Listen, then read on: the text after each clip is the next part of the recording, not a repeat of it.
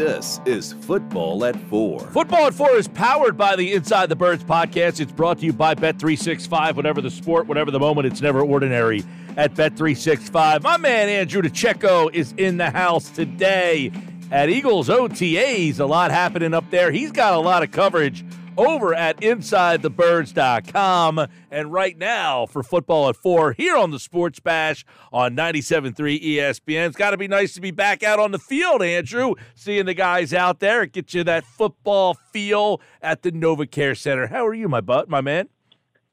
Um, I'm doing well. It's hard to ask for better weather. Nice practice today football is back. All is well. Yes, uh, for at least two days. Right after this, uh, we got one more. The mandatories come up after this, uh, the first week of June, and then we'll have a little hibernation there. Uh, let's get a couple uh, thoughts from you on some of the players uh, that you kind of had an eye on at the OTAs. Kind of set the scene of what you were watching today. Well, I wanted to see if Isaiah Rodgers was going to garner first team reps once again but Darius Slay was not there. So today, the first team corners were Kelee Ringo and Isaiah Rodgers. And I thought Isaiah Rodgers, again, was around the football an awful lot, acquitted himself well, had a pick six on Jalen Hurts. He jumped a slant route and, and, and took it a short distance. Uh, I thought that some of the uh, Mekhi Garner had an interception today. I thought he was really active as the second team safety opposite Tristin McCollum. Quinyon Mitchell had a nice practice. Uh, it, this, these the OTAs and the way that it's set up really plays to the defensive backs and it plays to wide receivers. It's really a glorified passing camp. But I thought that Isaiah Rodgers once again was someone that I came away with pretty pretty impressed. Yeah, I know a lot of uh, the secondary is going to be a big story, right? I mean, I'm assuming when we go to training camp, that might be the biggest story of all is what that secondary is going to look like. The Bradberry situation, we might get more uh, on that when the mandatories. Will he show up for that? He did not show up for these, but you just mentioned a bunch of guys uh, that uh, are all going to be in play come training camp. But that secondary, you said this is a, a camp for the secondary to shine, and that just sets up what will be a huge battle in the secondary at training camp. Yeah, absolutely. That that's the battle that I'm I'm really and fascinated with, and I'm interested to see how it's going to shake out because obviously it's one thing to really impress with the jersey and shorts. Everyone should be able to look good in those, you know, under those circumstances. But Rodgers is awfully physical, scrappy. He's around the ball a lot. That caught my attention. That figures to translate well when the pads come on. But yeah, I mean, you have to look at it with there are certain locks: Darius Slay, Quinyon Mitchell, Cooper DeJean, Kelee Ringo is is a lock as well as the four then it becomes interesting because then I, I think right now, based on two practices, the context is very important. Isaiah Rodgers would have to be the five. It's going to have to be yet to be seen how he's going to translate to playing the slot if he's asked to do that because the Eagles do have a lot of outside corners.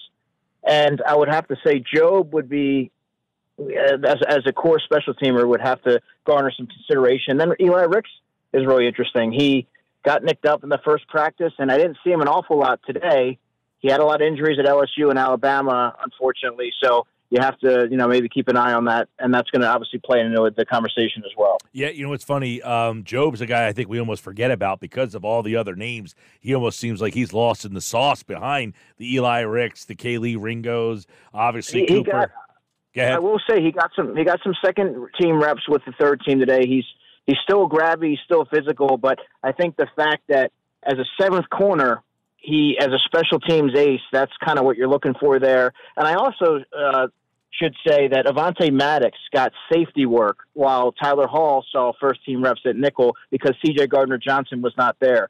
So I don't want to exclude Avante Maddox. I think if he's able to stay healthy throughout the summer, maybe you can make a case for potentially keeping eight, say eight corners and only three safeties because he does offer some versatility. I'm glad there. you brought Maddox. To keep an eye on. I'm glad you brought Maddox up because I was going to ask you about him. Like, is he penciled in as a nickel, or are they going to try to, you know, tap into his versatility? Yeah, that, that's what it seems like. It seems like they're really enamored with with his ability to contribute in multiple areas.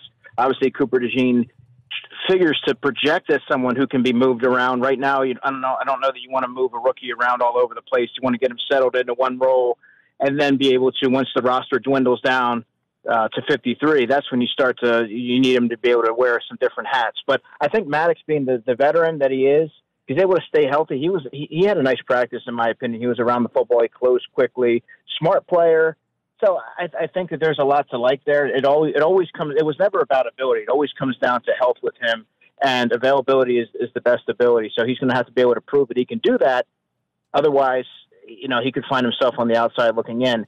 But if he's able to make it through the summer healthy, Mike, one thing to keep an eye on is you'd have to think the Eagles would have a hard time parting with him because that's when teams are looking for they're, they're short on bodies, guys are banged up, so it's not a slam dunk that he would be able to clear waivers if that were the case. Talking with Andrew DiCecco, football at four here on the Sports Bash from InsideTheBirds.com.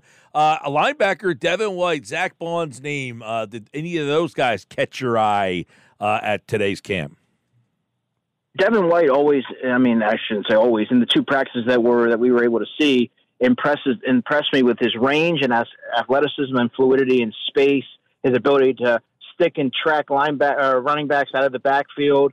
I thought Oren Burks had an up and down practice today. He gave up a, a tough uh, ball down the, on a back shoulder to Albert Okwuegbunam, and I think EJ no EJ Jenkins, Andre Sam gave up that play down the seam. I'm trying to run through all the different plays in my mind right now, but uh, Van Sumeren and and uh, was the second team linebacker with Oren Burks.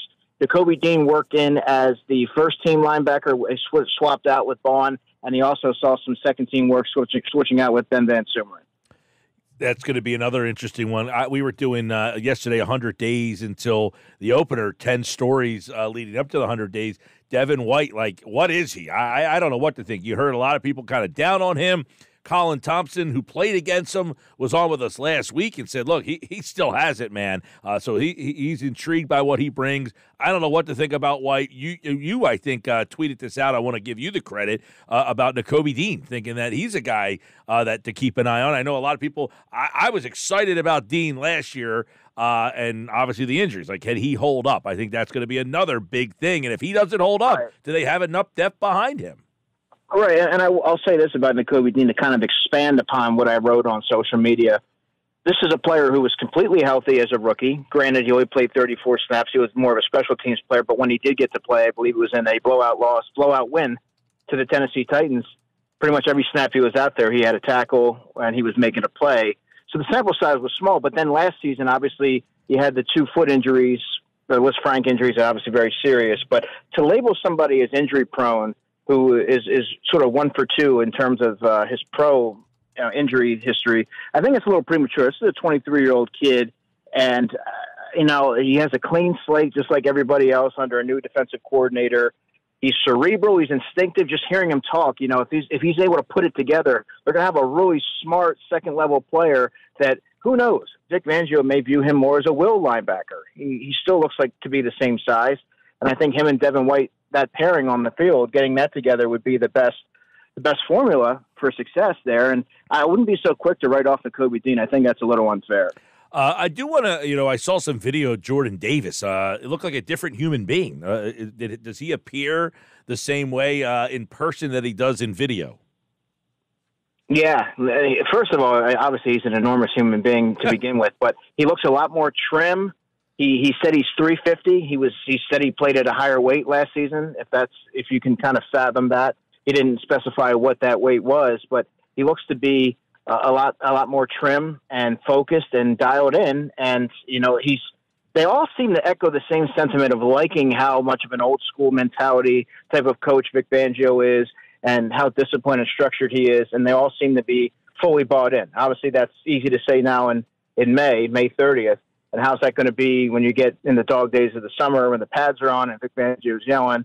Um, that's that's a whole other scenario. But I would say right now there's a lot to be encouraged with with Jordan Davis. He looks uh, looks quicker. He looks trim. And, and he seems to be almost recalibrated moving into this uh, a crucial 2024 season. Yeah, looking forward to uh, you know I, I we did the 10 stories. One of my stories was uh, Jalen Carter. Is he ready to kind of go from you know hey had a good first half of the season, exciting guy to I don't want to say all pro, but like in that conversation because he, he was a guy who could have been the number one pick of like, is, is Jalen Carter ready to go there? But if you get a better version of Jordan Davis, that changes the complexity of almost everything, doesn't it? Yeah, absolutely. And and I do think that Jalen Carter is ready to take that next step and, and play at an all, all pro caliber. If he's able to channel that that dominance that we saw in the first half of the season and extend that throughout the entirety of the season. That's going to be the key. But I think a coach like Vic Fangio, he yes, he's tough and he's demanding, but that also he's also able to get the most out of a player if you're willing to buy in. And all accounts right now are that a lot of these young players that are coming from big time programs like Alabama and Georgia are fully bought in and they're used to being pushed and coached hard. So I wouldn't worry so much about that. But you mentioned Jordan Davis just being that that that another centerpiece. You mentioned Jalen Carter. That those two are the players that the defense should be built upon. And having somebody who can move people and commands double teams like that, it opens up the possibility for other players to get in on the action. It will keep a player like a Nakobe Dean clean, which is important. So if he's if he's able to kind of sustain that level of play that we saw for those first five five or six games or so, Jordan Davis, the Eagles are going to be right on track. All right, uh, and t- typically OTAs, you talked about secondary players uh, being this kind of stars. What about the wide receiving? We know Brown and Smith, they're, locked in, but everybody else seems to be up in the air. So, how would you handicap uh, what you're seeing from the next group of guys? Well, and I was actually really impressed today with Parris Campbell and John Ross at the podium. They were very insightful and engaging. And I mean, if they make the team, they're going to be some really good quotes. I think Parris Campbell has the better uh, the better odds, of course, but uh, John Ross looked quick. He got behind the secondary. There was an underthrown ball that Kelee Ringo had a chance to. I think it was Kelee Ringo. I don't even remember, but there was a chance that somebody had to pick it off. Um, I, I thought he had some good burst to him. He's still a long shot to make the team, obviously, because when you're that far down the depth chart, special teams becomes paramount. He was not returning punts today, so but so I think that that's something to to kind of take into account there. But Parris Campbell has seen a, a ton of targets for the two practices that I was there for seems to have established an early rapport with Jalen Hurts, has battled a litany of injuries throughout his career, is coming off a dismal season with the New York Giants. He averaged 5.3 yards a catch as a speed receiver. It's a little concerning. But I think right here and right now, he seems to be almost reprogrammed. He talked about how he came to Philadelphia on a top 30 visit and how he came away with an impression that he just loved being here and he wanted to be an Eagle, and now he is. So we'll have to see if those two guys are able to take it the next, you know, take it the rest of the way. But Joseph Ngata is a player who I really like. I've got a chance to know him, talk to him throughout the season. Big bodied guy. He offers a different type of dimension than the other two players that I've mentioned. But it's going to come down to special teams with him. Can he cover kicks? Is he able to gain separation, which was a problem for him last season after he hit the ground running early? So those are some of the three. Those are the three guys that I'm looking at right there. And then we haven't even talked about Britton Covey, who I don't think it's enough props for what he can bring as a receiver. Very good short area quickness. He's terrific on the move. He put a move on Mario Goodrich today on a short route and completely had him turned around. Uh, he, he's he's a player that I think has a lot more to offer as a wide receiver than he's given credit for. Yeah, he'll be interesting, right? Because he's in battle for not only the receiver to help out in that room, but I'm assuming that he's going to be in a battle for uh, the the punt return job.